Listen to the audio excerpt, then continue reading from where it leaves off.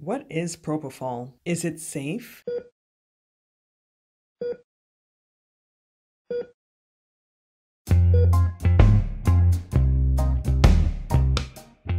The field of anesthesia has come a long way from the early days when substances like ether or chloroform were used to induce a state of unawareness and unresponsiveness to the pain of surgery. Although there have been many advances in the field, a lot about anesthesia is still a mystery. One of the drugs we have come to understand and know a lot about is propofol. The discovery of propofol in the 70s was a groundbreaking development in the field of anesthesia, although it was only approved for use in the US in 1989. Unfortunately, it has gotten a lot of negative attention.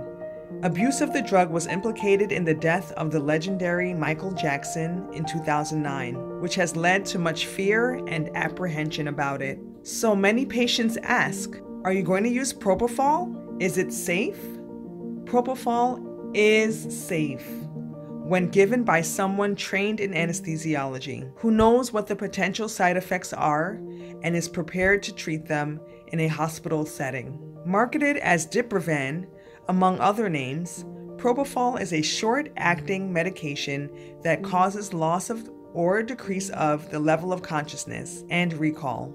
It is injected intravenously, which means directly into the vein, and it can be quite irritating. It works pretty fast. Within 30 to 60 seconds, most people will feel the effects and lose consciousness. A single dose wears off pretty quickly, in about 5 to 10 minutes. Since it is not a pain medication, and is primarily used for sedation or to put someone under general anesthesia, you may also need other pain medications as well. Its appearance is white, so it's often called the milk of amnesia. So, how does it work? It is believed to work in the central nervous system at the brain, and it blocks signals from being sent from the excitatory centers or GABA receptors, thus making you sleep or become sedated. When you fall asleep, after propofol is injected, you will need to be monitored or observed closely.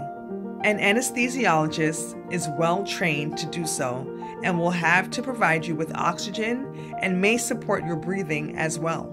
We will also check your vital signs or heart rate and rhythm and blood pressure while you're under the influence of propofol and will ensure that they are stable and you are safe.